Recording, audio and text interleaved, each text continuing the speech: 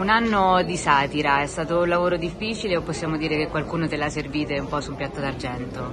Beh, oddio, un po' difficile perché c'è stata la guerra, quindi quando è arrivata la guerra un po' ho dovuto fermarmi, ho dovuto fermare un attimo, però poi diciamo gli spunti non mancano mai.